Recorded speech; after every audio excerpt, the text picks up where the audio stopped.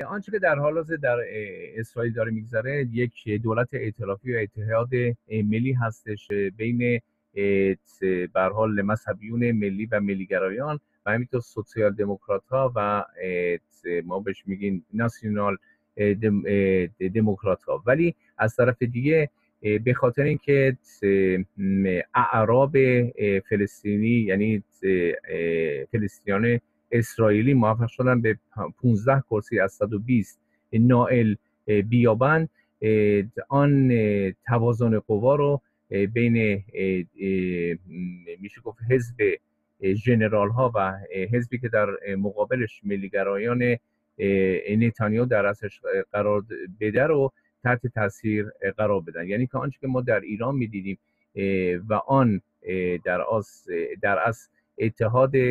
میشه گفت سرخ و سیاه رو در حال حاضر ما داریم می‌بینیم ولی روی هم رفته بحران کرونا این دولت ائتلافی رو یا اتحاد ملی رو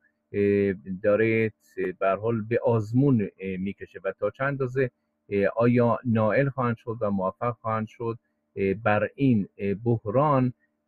و مقابل آنچه که داره میگذره به عنوان یک جنگی که با یک ویروس نامرئی هست بتونن دست و پنجه نرم کنن و هژمونی که در منطقه دارن چه از نظر پزشکی چه از نظر بهداشتی چه از نظر بر حال ستاد پشتیبانی رو نه فقط که به افریقا بلکه به یکایی که کشورهای عربی بتونن برسونن و پلی باشن برای آزادی برای صلح